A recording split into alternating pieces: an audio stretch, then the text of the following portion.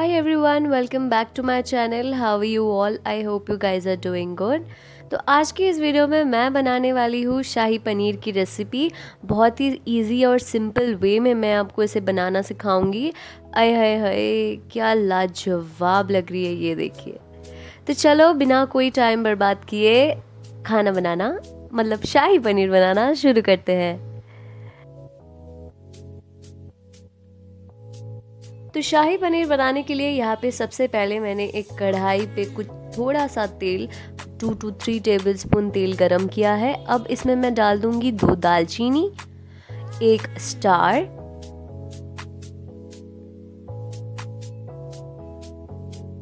दो इलायची, चार से पाँच लवंग एक चुटकी जीरा, दो तेज पत्ते डालकर इसे कुछ सेकंड के लिए फ्राई कर लूँगी। इसमें मैं डाल देती हूँ चॉप किए हुए अनियंस मतलब प्याज। मैंने यहाँ पे एक लार्ज साइज़ प्याज लिया है।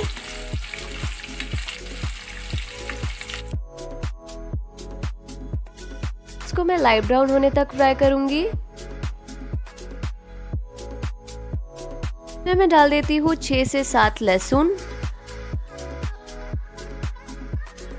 थोड़े से चॉप किए हुए अदरक।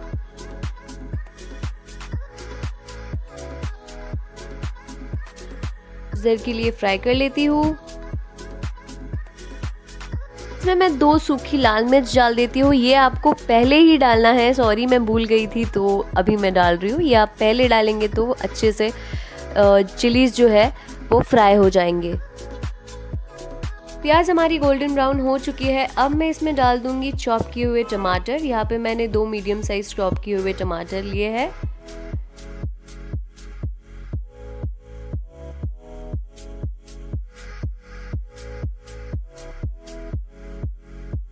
देर के लिए सॉटे कर लेती हूँ। अब इसमें मैं डाल दूँगी एक चुटकी नमक ताकि टमाटर जल्द से जल्द पक जाए। कर लेती हूँ।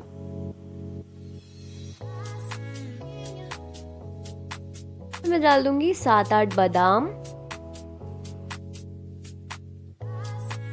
और सात आठ काजू।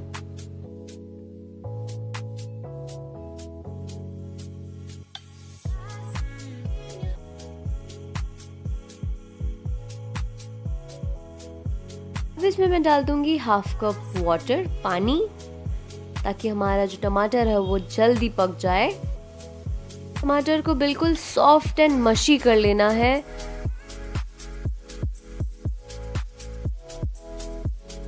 अब इसमें मैं डाल दूँगी one tablespoon Kashmiri red chilli powder saute कर ले।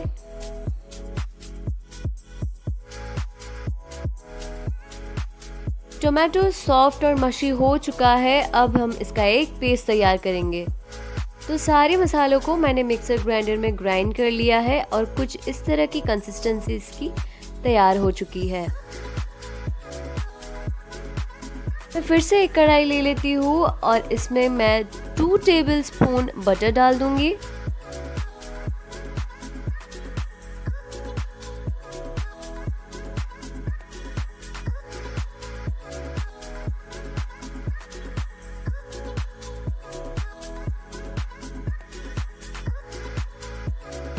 तो इसमें अब हम डाल देते हैं चॉप किए हुए लहसुन।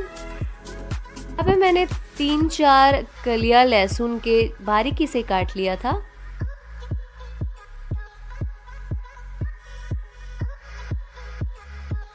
लहसुन फ्राई हो जाने के बाद मैं अपना जो प्यूरी हमने बनाया था वो मैं डाल देती हूँ।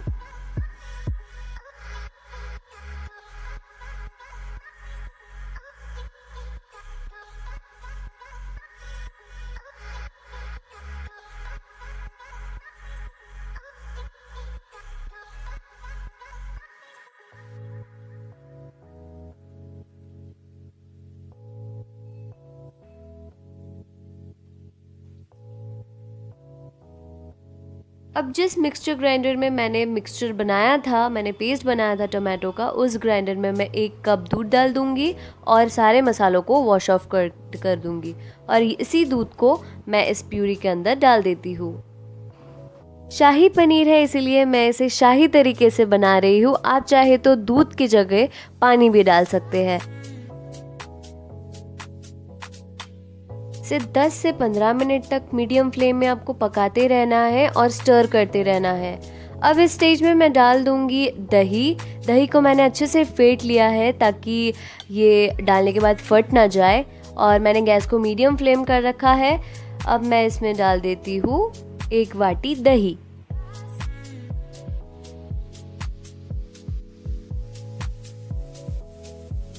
इसे मैं पाँच से सात मिनट तक लो फ्लेम पे पकाऊँगी।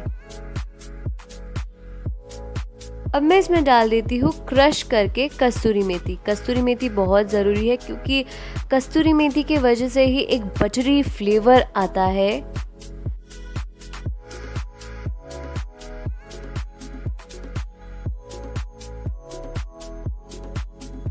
वाह वाह वाह, क्या खुशबू है। चलो, इसमें मैं अब डाल देती हूँ वन टेबल स्पून गरम मसाला पाउडर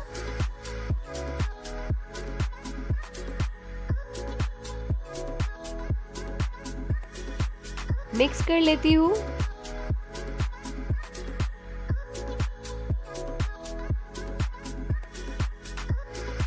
अब इस स्टेज में मैं थोड़ा सा नमक चेक कर लेती हूँ। मुझे लगता है मुझे थोड़ा नमक देना चाहिए, इसलिए मैं थोड़ा सा नमक डाल देती हूँ। और सारे पनीर एक एक करके डाल देती हूँ।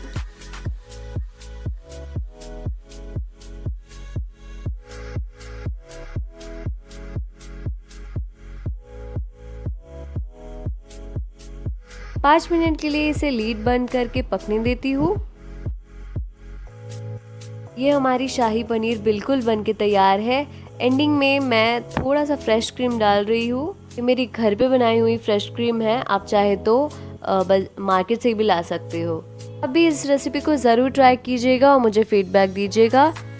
And I hope you guys liked the video. If you did then don't forget to like, share and subscribe to my channel and also press the bell icon so that you'll be notified whenever I'm on YouTube. Thank you so much. Bye.